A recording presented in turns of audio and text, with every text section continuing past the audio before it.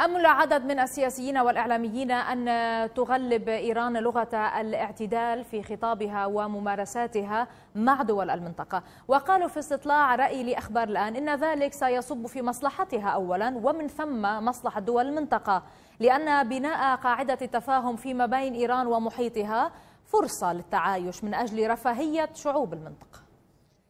نأمل بأن أن العقلاء والحكماء يسودون وأن المغامرات تقف.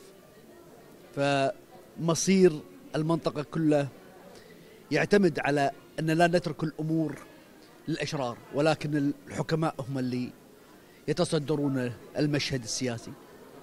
ونتمنى التوفيق للجميع إن شاء الله. المجيء بإيران إلى الاعتدال هو قرار إيراني وعسى أن يكون دائما لأنه في مصلحة إيران ومصلحة المنطقة ككل وفي المصلحة العربية أن تكون هناك مخاطبة مع الاعتدال في إيران. هذه المشكلة تبقى مشكلة لأن في إيران انقسام ما بين المعتدلين وبين الذين يقاومون الاعتدال. فإذا عسى أن يتمكن الاعتداليون أو المعتدلون في إيران من مسك زمام الأمور كي يكون في الإمكان فتح باب جديد على الحوار.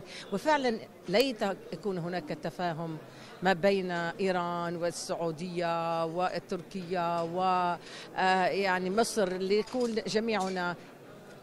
لنبدأ بالتفكير بما تحتاجه المنطقة وهو إعطاء الفرص لشبابنا لإيجاد فرص العمل للتعليم للاستفاده من مواردنا الطبيعية للتواصل التواصل مع المستقبل بدلا من الوقوع في فخ هذه الحروب والتحديات التي لا منها لا أمل منها لمستقبل منطقتنا العربية. يقلقكم التدخل الإيراني دائما مع الوزير؟ هو القلق الأول والأخير والدائم